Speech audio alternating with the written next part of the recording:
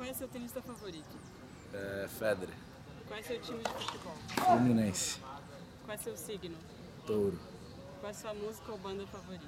É, não faço ideia. Não tenho de cabeça assim. É pensar Abrir o Spotify, o que, que você vai escutar? rap. Algum rapper? Kanye West?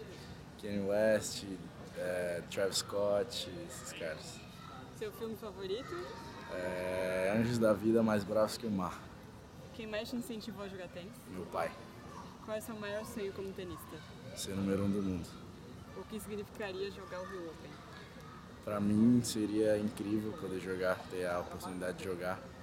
E eu não- não sei nem descrever o que eu, que eu sentiria de estar na quadra lá jogando.